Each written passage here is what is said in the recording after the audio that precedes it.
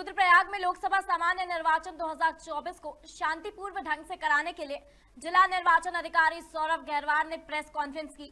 इस दौरान उन्होंने जानकारी देते हुए कहा कि निर्वाचन प्रक्रिया को संपादित कराने के लिए सभी आवश्यक व्यवस्थाएँ और तैयारियाँ पूर्ण कर ली गई हैं। साथ ही सभी अधिकारियों को निष्पक्ष चुनाव कराने की शपथ भी दिलाई जाएगी।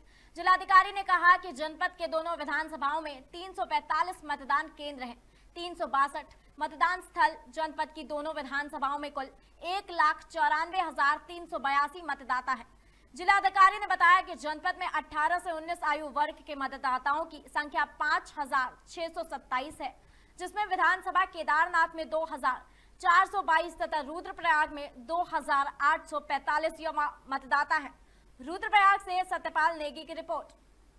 हमारे जो 345 मतदेय स्थल है, जिसके सापेक्ष तीन मतदान केंद्र हैं, और कुल हमारे एक लाख चौरानवे हज़ार मतदाता हैं, दोनों अलग अलग विधानसभाओं में मिलाकर के दोनों का।